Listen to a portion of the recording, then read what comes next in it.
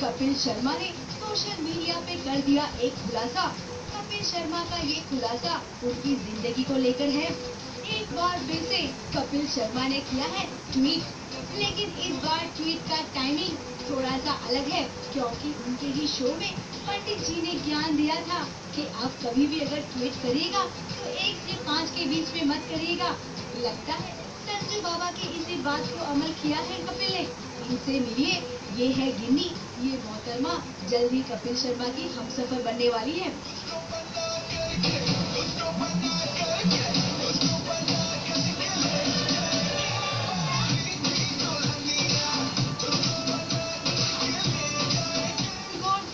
कपिल शर्मा का ट्वीट, जहाँ पर बड़े ही प्यार से अपनी ज़िंदगी में अपने इस बेटर हाफ़ का वेलकम कर रहे हैं।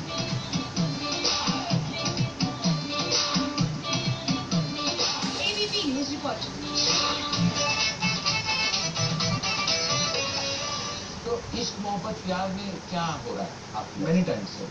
Many times और मेनी टाइम्स प्यार Every year. एवरी ईयर प्यार होता है। एवरी ईयर आजकल रिसेंटली मेरा दीपिका से मतलब क्रश है मेरा बहुत ज़्यादा। हाँ।